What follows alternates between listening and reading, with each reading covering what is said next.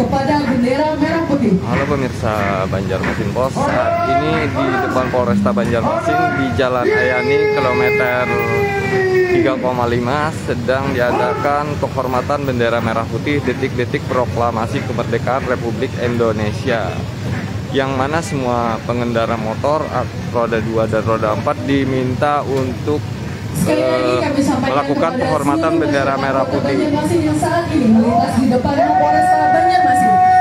mengajak Bapak Ibu sekalian untuk mengikuti prosesi kenaikan bendera merah putih live dari Istana Negara yang mana bersama-sama akan kita ikuti. Dan kami harap kepada Bapak Ibu sekalian yang berada di dalam kendaraan atau di dalam mobil kami persilahkan turun saat kenaikan bendera nanti dan melakukan penghormatan kepada bendera merah putih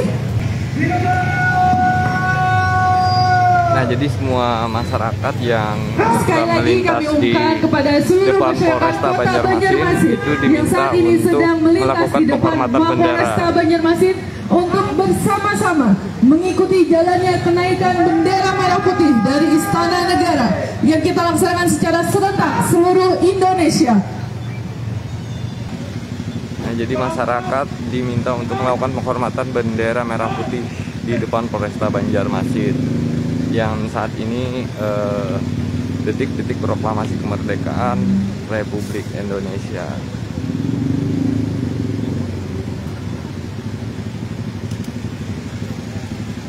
Nah ini anak-anak maupun orang dewasa turut serta untuk melakukan penghormatan bendera. Kenaikan bendera nanti penghormatan akan kita pusatkan kepada bendera tertinggi kita yang saat ini terpasang di atas water cannon, mobil water cannon dari Polresta Banjarmasin.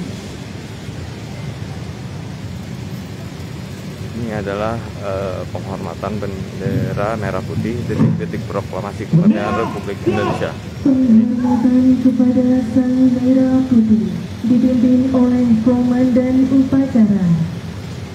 kepada Sang Merah Putih. Hormat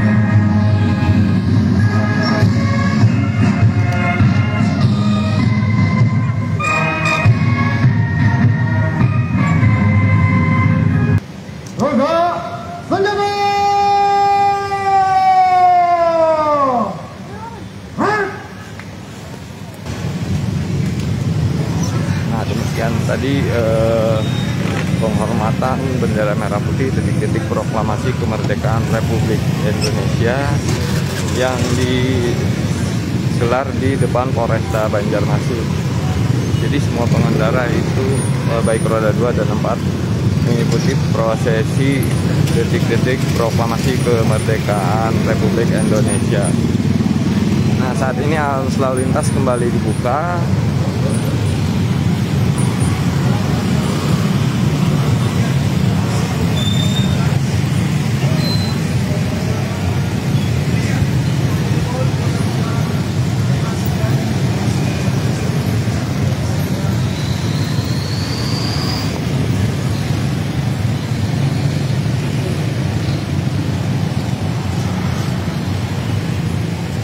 Demikian dulu laporan kami dari Jalan Ayani kilometer 3,5.